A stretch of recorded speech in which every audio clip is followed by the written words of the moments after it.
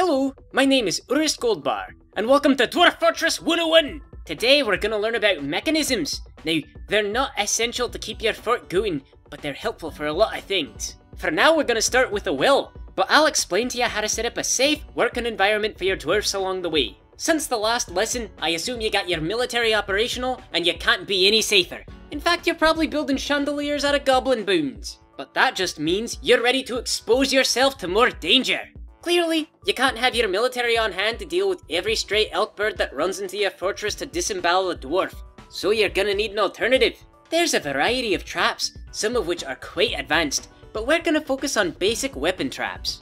You're probably thinking to yourself, Urist, what does this have to do with building a well? Well, don't interrupt, I'm getting to that! You see, a well requires a source of water from somewhere, and in this case, we're gonna go into the caverns.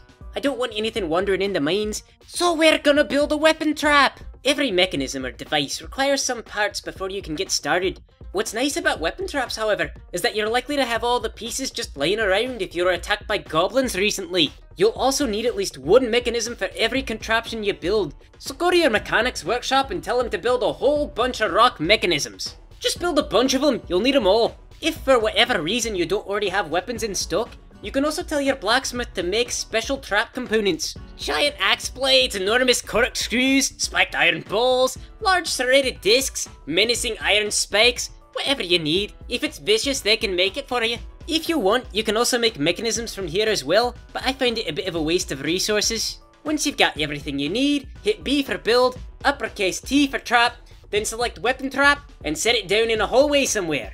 Put whatever weapons in it you feel like and you're good to go.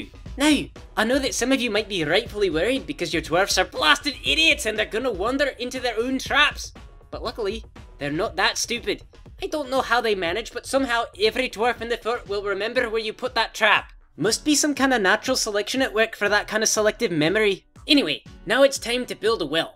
If you have murky pools outside your fortress, you might already have access to water, but it's about time you got yourself a safe emergency drinking source in case your scotch runs out. But the trouble is, if you want to build a well inside, you've got to build it over a pool of existing water, or you've got to move some water around. Well, we're industrious dwarfs, why don't we do the second of those two?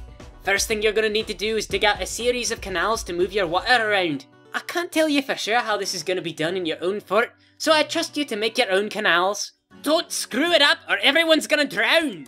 One thing is important, you're gonna have to start your canal approximately one space above the water that you intend to move. This is a three-dimensional project, so when I say one layer above, I mean one Z layer above. Dig your canal so that, in theory, using your experienced eye, it appears the water will empty into a pit that you intend to use for a well. Now, go into the job manager and tell your dwarfs to build a giant screw, a pipe section, and at least one more mechanism because you don't have one lying around because you didn't listen to me! Once you've got your supplies ready, hit B then capital M, then select screw pump. Now pay attention to this next part because this is where it gets frustrating! If you look, the pump will tell you where it pumps from. When it says it pumps from the north, that means it's drawing water from the north. Now, it doesn't say this, but that means that the water exits your pump from the south. So see, you put your pump down and the water is adjacent to it, north of the pump. The water itself is of course one Z layer below the pump, so you have three dimensions to worry about here. Once you get all that figured out, it's time to put in a floodgate so you don't drown your entire fortress. Just install one someplace logical and attach a lever.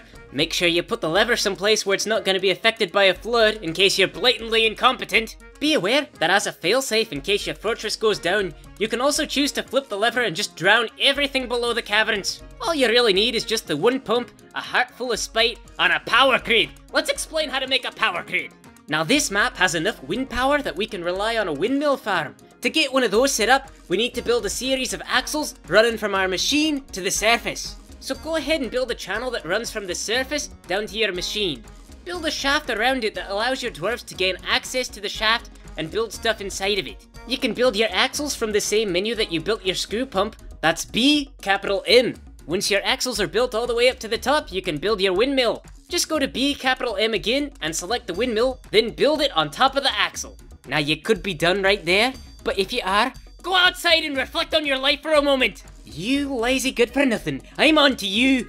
A long axle takes a lot more power to turn. So if you can turn that axle with just this one windmill, clearly you're not delving deep enough. For those of you whose parents raised you better, you're gonna need a windmill farm, which is made by setting out a series of axles, connecting them with gear assemblies, then building windmills over the gear assemblies. Once you've got enough windmills connected in this manner, you should have enough power to run that pump indefinitely and drown everyone in the lower levels of your fort.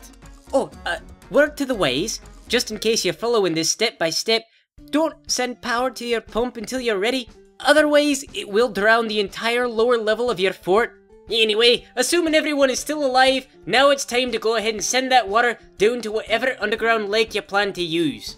Once your reservoir's full, install a well over it with B, L. And there you have it! The water will be clean because it came from a filthy screw pump. No, really, that's how it works. And now you've got a bunch of mechanisms to benefit your dwarfs. So good luck with your traps, don't show them to diplomats, and be aware that some monsters won't tip off a trap so you still need your military. But of course, above all else, remember, you can never dig too deep or too greedily.